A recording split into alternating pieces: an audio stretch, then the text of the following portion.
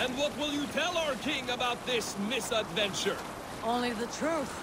We attacked Kjotve's fortress, killed his men, and weakened his control of this land. Will you mention the part where you lost your crew and were nearly sold as a thrall? Will that be part of your saga? If there's a skald who dares sing that verse, it'll be his last song.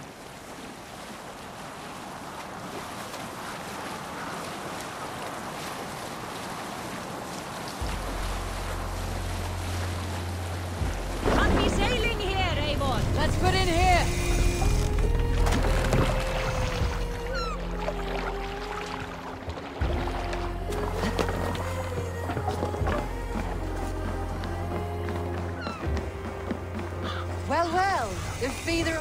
We thought we had lost you, Eivor. For good this time. A warm welcome as always, Randvi. You look like reddened sheet. What happened? Nothing to crow about, except to say the men who delayed us are dead. And how are you? Well enough. Though I have spent many tiresome days calming the rages of our king. He is not happy with you. I expected as much. And what of Sigurd? Has he returned from his raids? My husband should be home today. The last we heard, he was approaching Stavanger. Good to hear.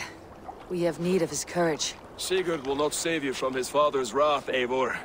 You should know that by now. Did your raid not go as planned? They rarely go as planned. We killed many of Kjotve's warriors. And there was this. My father's axe among the dead. Ah. After so many years. You should take it to Gunnar. He will give it back its edge. A good idea.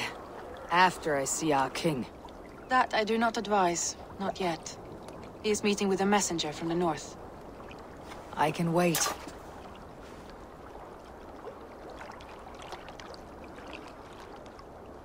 A cloud hangs over you. Is something wrong? Seeing my father's axe after 17 winters.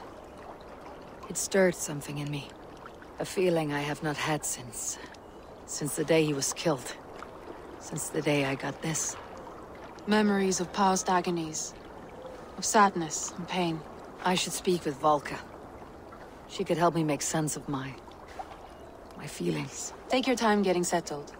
I will see you at the Longhouse. I think you have lost your edge, Eivor. Just like that axe. Maybe Gunnar can help you with both. I will let you know.